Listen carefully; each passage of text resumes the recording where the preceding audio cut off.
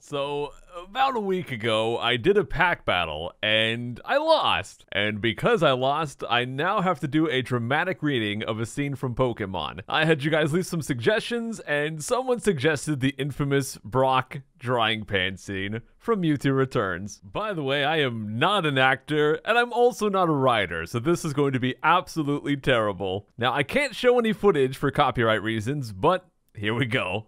Ash, Misty, Brock, and of course Pikachu were taking a peaceful stroll through a quaint forest in the Johto region. It was a bright, sunny day. The leaves rustled in the gentle breeze, and the birds were chirping. Suddenly, holy crud, a giant mountain thing off in the distance! Ash and friends ran up to check that crud out. That must be must be. Pika. That's it alright, Purity Canyon, the Johto region's greatest natural wonder. Brock said while staring at what is clearly a massive mountain, not a canyon. Yeah, no wonder. I wonder how we get across it. Brock very conveniently has a guidebook with the needed information. The book says it's impossible on foot. The only way to get across is by bus. But it only takes the trip once a month.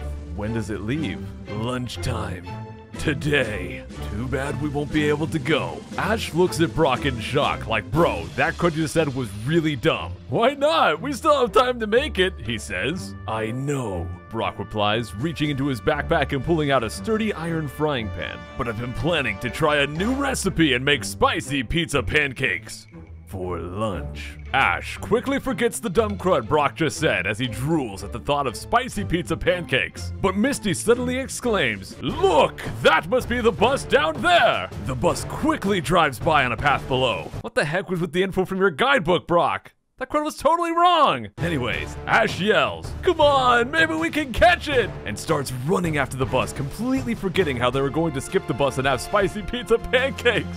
Then, seemingly out of nowhere, clouds begin to roll in. The sky goes dark and rain begins to pour down. Good old Ash, always loving to point out the obvious, says, Oh no, it's raining! But Brock, the true hero, the man with the plan, still equipped with the frying pan, explains his genius idea. Hey, I know! A smirk grew on his face. I'll use my trusty frying pan as a drying pan!